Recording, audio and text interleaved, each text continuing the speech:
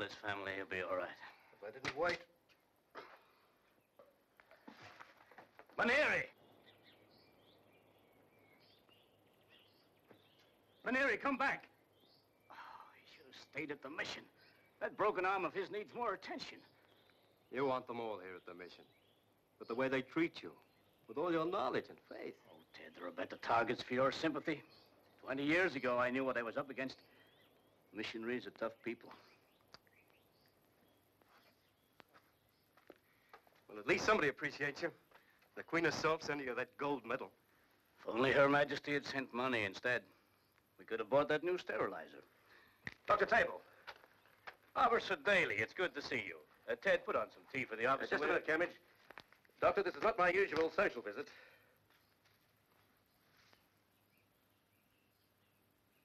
I'd rather you read it aloud. It's for your assistant. Edward Camage, this is a warrant for your arrest for the murder of Samuel Nutter. That's impossible. The court in Brisbane will decide. Oh, now. Now.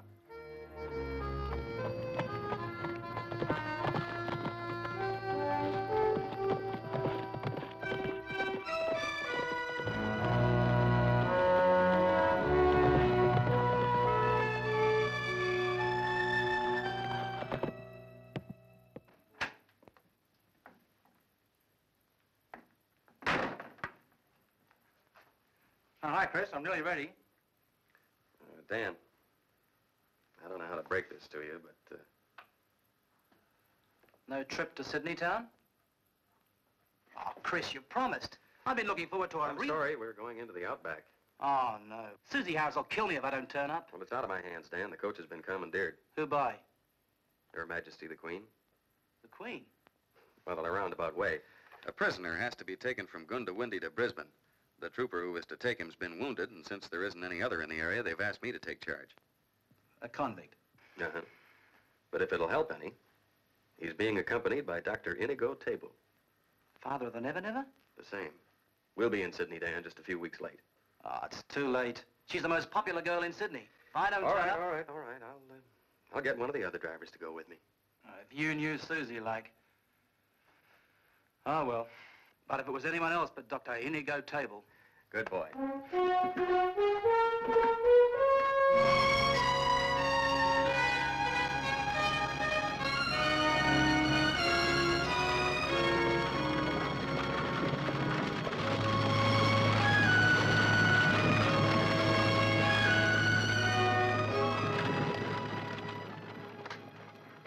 You know, people are pretty excited about this trip of yours, Doctor. I'm afraid displays of public affection make me very uncomfortable, Mr. Cobb. Well, then you'd better harden yourself for our arrival in Brisbane. You Don't anticipate a scene, do you? Doctor, you're news anytime. But I think under these circumstances... I didn't want him to come. Ted, I've told you a dozen times you have nothing to do with my excursion. For obscure reasons, the Humane Society decided some months ago to present me with some award or something. Until now, I've been unable to accept. But I hope to shake them down for some new equipment for the hospital. But you will testify at the trial. I know Ted is innocent. If I can convince the jury of that, it'll be little enough return for all the years of loyalty and friendship he's shown me. Who was this murdered man? Notter, was that his name? Yes, Sam Notter. A scoundrel, Mr. Cobb. If I weren't a man of God, I should be sorely tempted to say we were well rid of the fellow. He found gold near the mission. No vast strike, but there was talk of a sizable nugget. All rumor, I suspect, but the rumor was enough to cause violence. When he was brought into your hospital. Unfortunately, too late for me to be able to save his life. Multiple knife wounds. Both lungs were perforated. And you discovered the body? I went out to his hut, yes. He'd had malaria. He hadn't been in to collect his medicine. I will verify Ted's story. But he was struck before I got there, Mr. Cobb. He was bleeding and dying when I got there. I swear that, Mr. Cobb. Well, then the evidence is all circumstantial. There is one other unfortunate factor. Tell him the truth, Ted. I served time before, Mr. Cobb. Manslaughter. It was in self-defense, but he was convicted. When I came out, I couldn't get a job anywhere. Then I heard what the doctor was doing in the outback, working with the natives. Sounded good to me. I still have the letter you wrote me. It was the beginning of a most happy union. Yeah. Until now. It will be again. With you coming to help me, I know that.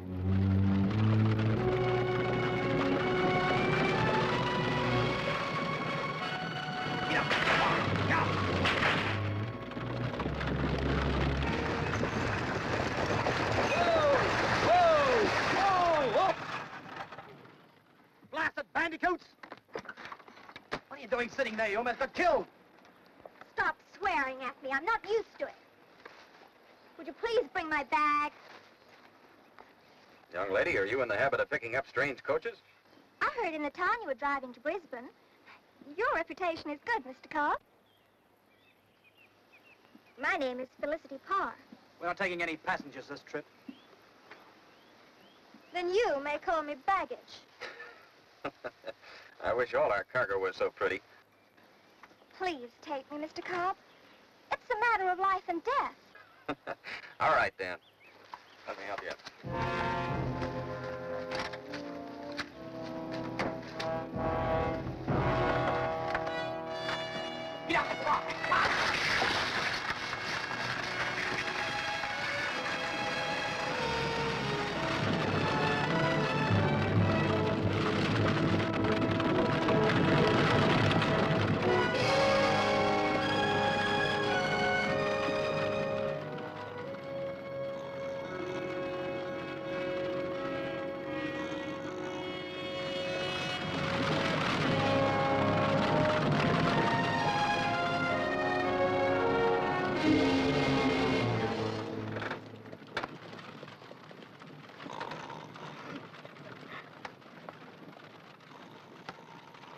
Well, it's hard to imagine Saint snoring. It's just what he is, miss. Ever since we moved out here, I've heard such wonderful stories about him. Miss Felicity, is your family on the land? I have no family. It was mission to Brisbane, Miss Licensed Deaf Manager. Whoa! Whoa! Whoa! Whoa! Blasted bandicoots! Uh, now, how did that get there? It must have blown down during the storm last night. We can't turn around here. Can't back out either. Something might happen. That river full of sharks. Sharks? Yeah, that's right. All along the coast, sharks come up these rivers. Well, what'll we do? It looks hopeless. That is a word never to use, my dear. You know, like swear words. Well, look, we better get the team unhitched and try to turn the coach by hand. Gamage, you wouldn't try to escape. I'm innocent, Mr. Cobb. All right. Well, you get the luggage down, that'll make it a little easier. Dan, you right. better put a log or a rock or something under those wheels. Right.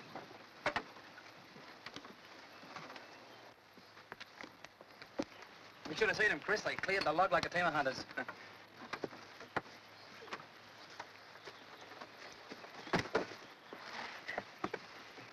Gamage, will you take that chalk out? Doctor, you give us a hand?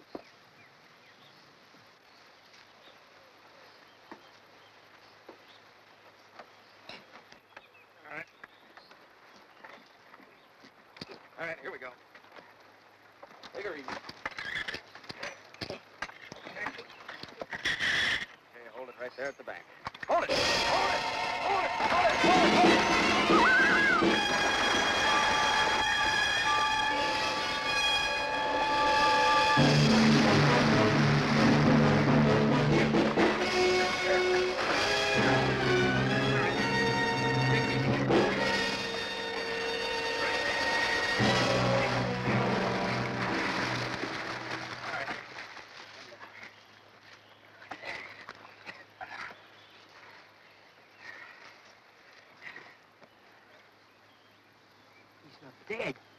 He couldn't be dead.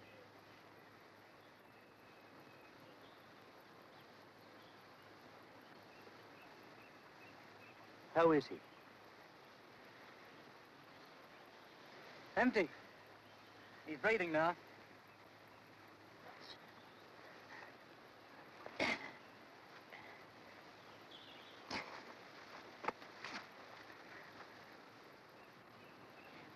You should get out of those wet clothes. Pneumonia won't help. No, there isn't time. Dan, let's get the horses and see if we can pull it out. Will you see if you can help the doctor get comfortable?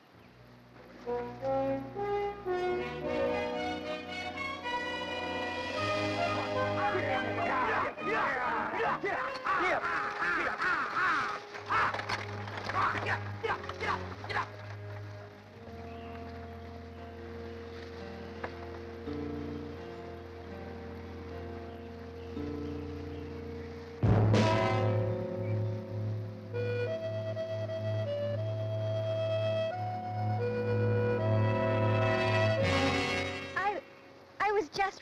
repacking. Thank you, my dear. Well, the coach is in good shape. No bones broken. I hope you're all right, Doctor.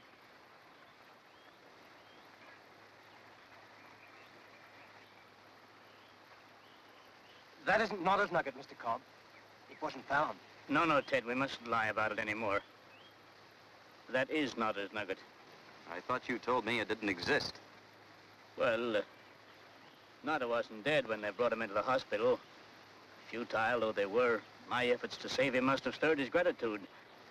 He gave it to you? Not to me, the hospital. He told me where to find it. Why didn't you report it to the police? The hospital needed the money. It was falling apart.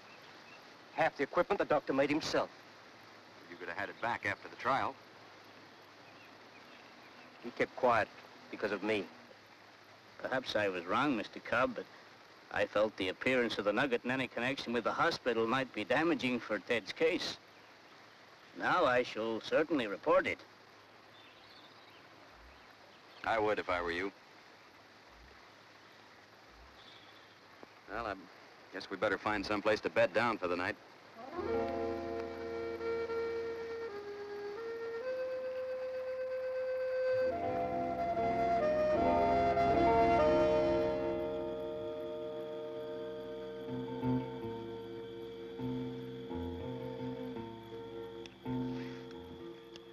More coffee? No, thanks. You're puzzled, aren't you? Mm-hmm. I'm puzzled, too. I had the feeling the doctor was lying, trying to cover up for Camage. Mm. If the dying man was capable of telling him where to find the nugget, he must have told him who the killer was. Is Camage innocent? Hmm. You know, there's something else that puzzles me. You. Remember what happened to the cat. You don't strike me as the type to be running away from something, Felicity. But I see you are. I'm running to something, Mr. Cobb. Man, Better than that. freedom, independence. Sleep right at this moment. Good night. Good night. I hope you find it.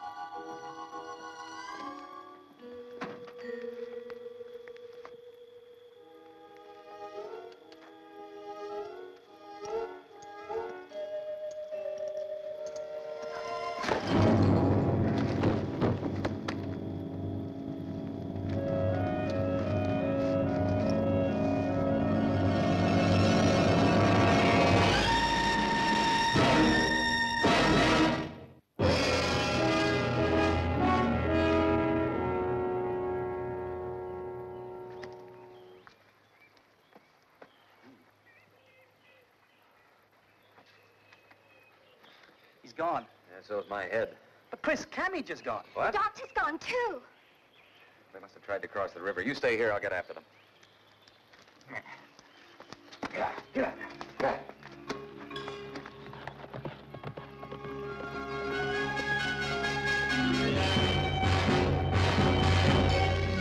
Oh, Mr. Cobb, Mr. Cobb. I'll come and Dr. Table? I tried to save him. Where is he? This way.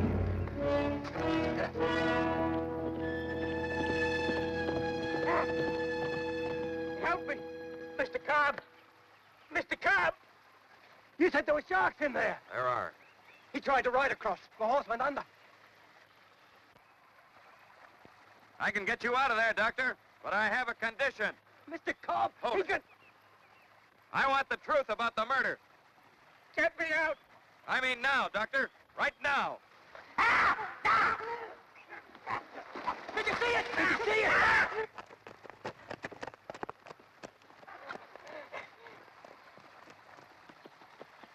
I'm waiting, Doctor. Help him, help him, please, Mr. Get away. Camage didn't do it, did he, Doctor? No, no. It was you, wasn't it? Help me. Get me out. Answer me. Answer me! Yes, yes, yes. I did it. I did it. Help me. Get me out. Get me out.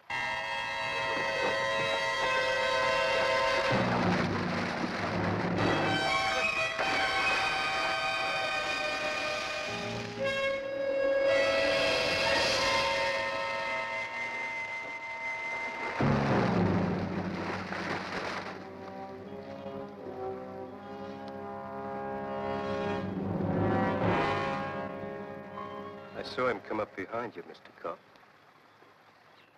He hit you? That's right. The letter. He knew from the letter. It was a reply from the Humane Society to a request by Dr. Table. A request? Mm-hmm. He asked to be met with due ceremony to receive his award. Ceremony? I asked for a brass band. But you always I said... wanted brass bands and banners. A little more to the point was the date of the letter. Weeks before the murder. He'd planned on this trip to Brisbane. And you let everyone think you came up just for me. A big act of self-sacrifice to speak up for me at the trial. What were you going to say? I honestly would have done my best for you. And if I hadn't got off, you'd have kept quiet and let me hang. Wouldn't you?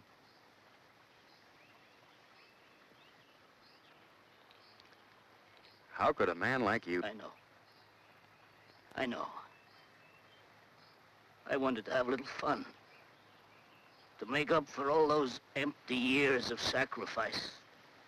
Years wasted away in that God-forgotten wilderness. God forgotten. But your work. My work? I didn't think they cared. I gave my life to those ignorant, fly-blown people. For what? Ted knows. Ted knows how I suffered for them. I healed them and tried... Oh, God, how I tried to teach them. Faith, cleanliness, disinfect wounds, don't rub dirt into a bitten finger.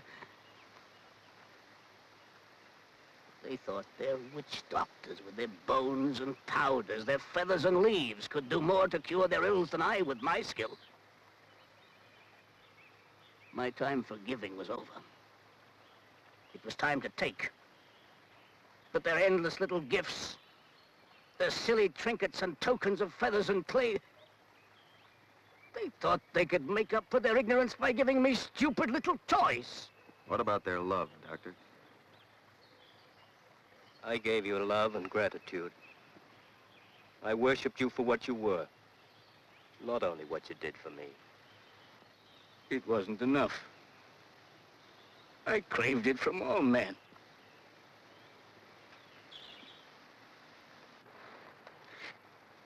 Dan, we're almost ready? Won't be long. Mr. Cobb, Hmm? I want you to leave me at the first town. I won't be going to Brisbane. Matter of life and death. I've seen too much of both these last two days. And I think I've learned something about myself. I guess we should never stop, Felicity. I'm going home. Well, you see, the people that I live with, my guardians, they... Your family. Family. I worked so hard for them on the farm. I was like the doctor. I expected gratitude. Forgetting all the things they've done for me. I think you have learned something.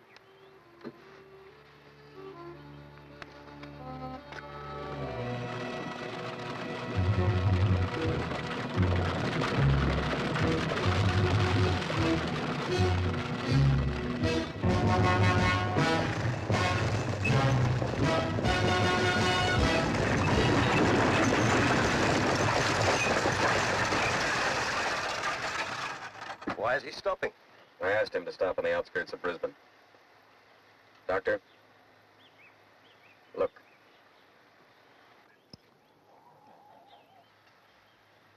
The nugget. The gold. I have it. After the trial, I'd like Ted to have it if possible. For the sterilizer.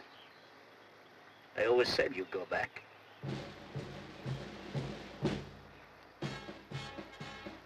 Brass band. I can't face them. How can I face them now? You're not going to let them down, Doctor. You asked for a brass band, well, it's not for you. It's for them. Dan, we're ready.